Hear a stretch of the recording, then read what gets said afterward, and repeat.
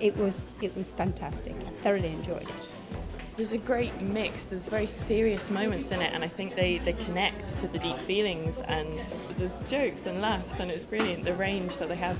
I wasn't sure I was going to come to see it, and I didn't think I would be so drawn into the story. It's not the Wordsworth that we are all familiar with. I think it's a completely new, and it's made me want to go home and pursue more of the story.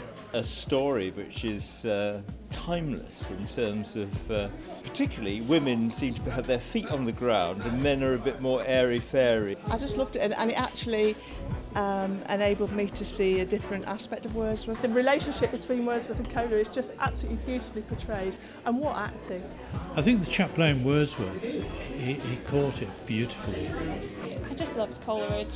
I love him. I, I thought it was brilliantly done. I'm very, very impressed. I think it's a, a tremendous production. The set is amazing and the use of sound. I just think the production of it's really beautiful. I mean, the setting and the, the way that they change scenes and everything is really gorgeously done, and the music and everything.